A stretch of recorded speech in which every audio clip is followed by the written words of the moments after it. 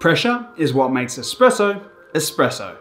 It allows us to brew coffee in seconds rather than minutes and produces the concentrated liquid gold shots that has come to define coffee around the world.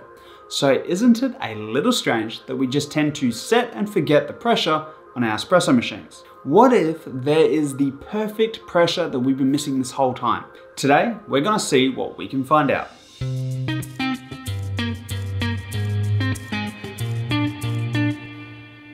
This is part three of our series answering the most common questions on espresso extraction. This time we're hoping to answer the question, what is the ideal brew pressure for espresso? If you're anything like me, when I started working as a little barista, I was always taught that the machine should be set at the sacred 9 bars of pressure. This is how it's always been done. Okay, so this is normally the point where I say it's time to shatter the mystic traditions with some cold hard facts. But this time, our tests do suggest that the old 9 bar tradition still holds up. So if you're in a hurry, there's your answer. Based on our testing, we recommend a brew pressure of 9 bars. Of course, there's a whole lot more to it than that, but you're probably not interested in that, so before we dive into the results, let me set some things up with a quick note on pressure. In most modern espresso machines, an electric pump forces water throughout the ground coffee at a set pressure. On older lever machines, this pressure is created by a lever and the massive biceps of the barista. A lever machine is a very simple example of what baristas sometimes call pressure profiling. Pressure profiling refers to the process of manipulating the pressure of the water throughout the shot. Unlike an electric pump which maintains a constant pressure, with a lever machine the pressure starts high and then gradually drops throughout the shot as the spring returns back to its original position. Another example of this is what we call pre-infusion. This is where the low line pressure of water runs for the very first few seconds to allow the ground coffee to get wet and saturated before getting smashed by the full pressurized force of the water. And the goal here is to prevent channels from occurring in the bed of coffee during extraction. Now for these tests, we didn't focus on pre-infusion, lever machines, massive biceps, or any other ways in which pressure can be varied throughout the shot. No, we tried to keep things focused on our mission of finding out, is there an ideal pressure to set your espresso machine to? And with that out of the way, Here's a test that our engineers cooked up. We measured espresso shots brewed at 6 bars, 9 bars, and 12 bars of pressure using 14 grams, 17 grams, and 21 grams of ground coffee. We then measured the extraction time, that is how long the espresso took to brew, and we measured the TDS or the total dissolved solids using a refractometer. This tells us the overall strength of the espresso. We also monitored the flow rate using our shiny new flow telemetry system. Oh yes, and we taste the coffee too. You know, old school methods. Now it is worth noting that the pressure was measured using the dial on the front of the machine, which in this case was the La Marzocco Linea PB and KB90.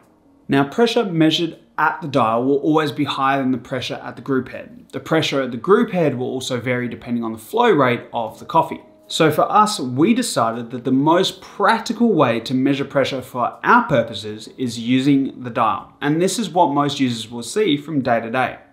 Finally, we use the same coffee for all of these tests. It's a light medium roast made up of natural processed coffees, which we rested for a week after roasting. Well, except for one of the tests, but I'll get to that in a moment. The first thing that we found was that as pressure increased, the extraction times also increased. In other words, the more pressure we used, the more slowly the shots poured. Now logically, you would expect the opposite to happen. So what is the deal here? Our guess was that the carbon dioxide gas produced by the fresh coffee was producing more and more resistance to the water as the pressure increased. So to test this theory, we tried the same experiment with the same blend of coffee, except this time it was stale. Yum. The reason we chose stale coffee was that as coffee gets older, the trapped gases slowly escape the roasted coffee beans, and that's why stale coffee produces less crema. Sure enough, with stale coffee, we found that the extractions behave the way that you would expect.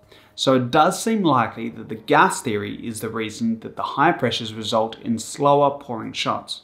This also seems to be supported by looking at the rate of water flowing through the bed of ground coffee using the flow telemetry device. The flow device graphs the pulses from the machine's flow meter, which gives a visual guide to the flow rate of each espresso that we made. The shots brewed at 12 bars quickly saturate the bed of ground coffee, but then immediately drop down to a slower flow rate than the lower pressure shots. This indicates that this resistance is occurring really early on in the process. The next thing that we found was that the TDS, that is the strength of the espresso, had more to do with the extraction time than the pressure. When extraction times were low, so was the TDS. When extraction times were higher, so was the TDS, regardless of the pump pressure. Now that's not to say that the pump pressure doesn't have an impact. As we noted earlier, when using fresh coffee, increasing the pressure help to increase the extraction time, which might be a good thing if you're using a lighter roasted coffee that's harder to extract from. Of course, grinding finer will also cause the extraction times to increase, but the grind size will change not only the strength, but also the overall balance of the flavor extracted from the coffee. Speaking of flavor, let's get to the point. Which one tasted the best? We started with our standard brew recipe for this coffee, the pump set to 9 bars of pressure, and used that as our benchmark. We then kept everything else the same and reduced the pressure of the machine to 6 bars. The results weren't great. Our tasters describe these shots as watery and thinner in texture compared to the control. Of course, as we already discovered, lowering the pressure also made the shots run quicker, so we did try a few adjustments to compensate for this. We tried grinding finer, and then we tried increasing the dose, and then we tried a combination of both. The end result was that they all came up short in flavour and texture compared to the shots brewed at 9 bars. Then we tried the same process again at 12 bars of pressure. This time our results were mixed. Some tasters preferred the thicker texture and bigger, bolder flavours of these shots. Some felt that they were starting to taste over extracted and preferred the balance at 9 bars. None of us had regularly made espresso at higher pressures in a cafe setting, so we thought we would push this little experiment just a touch further. The head barista of our espresso bar, Will, agreed to run his machine at 12 bars for a day just to see what the impact had on a variety of different coffees and get some feedback from a broader mix of people. And the feedback from both baristas and customers was less than enthusiastic. Baristas told us that they struggled to get the coffee's tasting right, and customers noted that the coffee tasted different in milk. And the end result of all of this is that we're gonna stick with 9 bars. Now for the home or pro barista, our suggestion is this. If your roaster recommends a specific brewing pressure for their coffee, then go for it. Otherwise, your best bet is probably still gonna be 9 bars. Now there's definitely more to be investigated on using lower pressure for darker roasts and using higher pressures for lighter roasts. Perhaps there's some wins in there, but that's gonna have to wait till next time. Okay, so how do you adjust the pressure on your machine? Well, it does depend on the type of machine that you have. Commercial machines and some high-end home machines have a rotary pump. Rotary pumps are larger and quieter than the vibrating pumps found on many smaller home machines. If your machine has a rotary pump, then the process is fairly simple.